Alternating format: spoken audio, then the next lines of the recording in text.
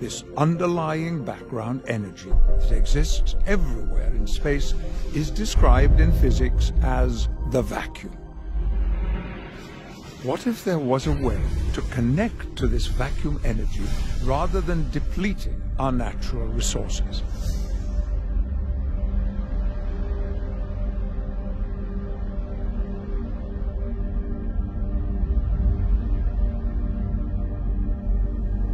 Humanity is on a course that's unsustainable.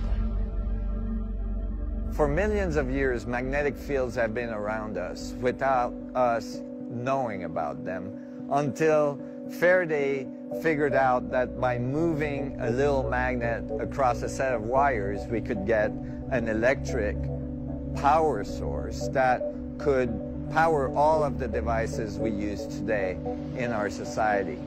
Now we are discovering there is another invisible field at the source of the material world that is all around us and in large quantities. And by learning how to tap into its structure, we could power our world for generations to come. Scientists from around the world are looking for a solution to tap the vacuum energy that is all around us and it is important that they succeed. Current wars and potential conflicts of the future will be fought over resources, like oil and water. Abundant energy will help create stability in the world and reduce the threats of the perceived energy supply disruptions that cause countries to go to war. War has been a big part of humanity's past.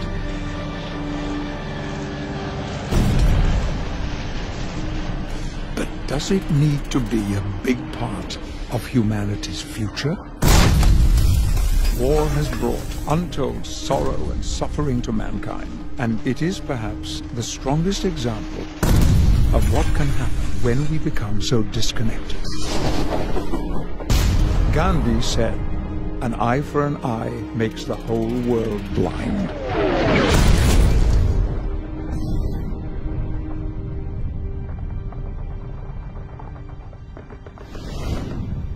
With our modern capacity to wage war, there can be no victors. Gene Roddenberry, the creator of Star Trek, once said, the strength of a civilization is not measured by its ability to fight wars, but rather by its ability to prevent them. Learning how to harness this vacuum energy all around us could have profound implications, but it will require a paradigm shift. Some of the greatest advances in science have come from people with the courage to pursue ideas that challenge the accepted wisdom of the time. It was common for these new ideas to meet with rejection at first. Galileo was imprisoned. People resisted Faraday because he had limited formal education. And do you know what happened when Einstein published his great works in 1905? Nothing happened. People didn't connect to his ideas. The only person who really saw what Einstein had done was Max Planck, who would become the father of quantum theory. Pursuing an independent path outside the academic world has been extremely difficult. It has been painful in many circumstances. The feeling of continuously being rejected, of not being understood, the constant interaction of fighting preconceived ideas has been a long road. However, it has forced me to be more accurate, to continue digging deeper, and to be extremely careful about my calculations and how I bring them into the world. So it has served a certain purpose.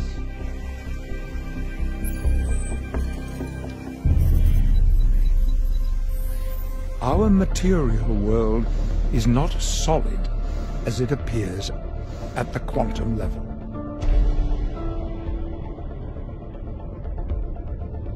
As Tesla put forth nearly a century ago, we need to think of the universe as energy, frequency, and vibration, not as solid physical forms.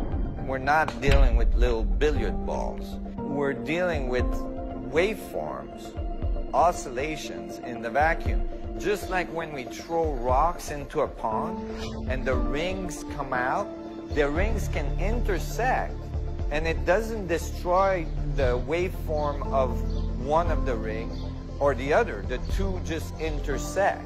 And so that the spheres, the little vibrations of the vacuum are intersecting and it is the holographic structure of space-time itself. It is the interference pattern that encodes the information of the whole universe in every point. The idea of a holographic universe was first put forward by physicist David Bohm, advanced by Gerard 't Hooft, then later expanded by Leonard Susskind. It was inspired by new understandings of black hole thermodynamics, that the information of the black hole is present on the 2D surface of the black hole, known as its event horizon. A simple example is that if you throw a wallet into a black hole, as the wallet is being consumed by the black hole, all the information contained in the wallet would become present on the surface of the black hole because it is a rule of the universe that matter cannot be created or destroyed.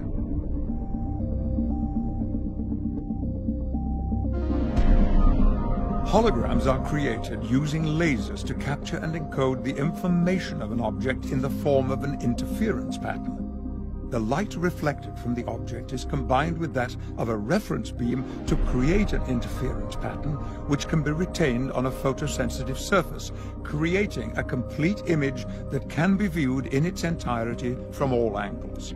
The information of the whole is present at every point. When the hologram is cut in half, the complete image is present on both pieces. When it is cut again and again, every piece still contains the representation of the whole image. It is not the actual object, but a representation of the actual object in every piece.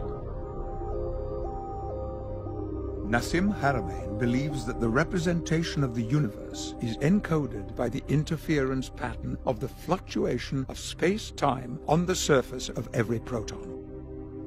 The difference from the static hologram example is that the holographic information encoding is dynamically happening at every microsecond at every moment, and it is constantly flowing throughout the universe.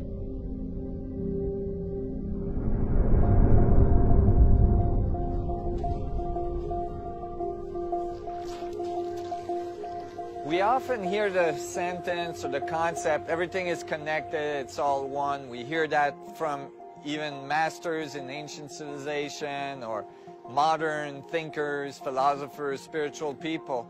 And it's a great concept. For many people, it resonates as something true. But how is that true? Some of the work I've been doing starts to open the door to understanding the dynamics and the mechanics on how everything is connected so that it's no longer just a dogma or an idea, but it's actually based on the physics of reality.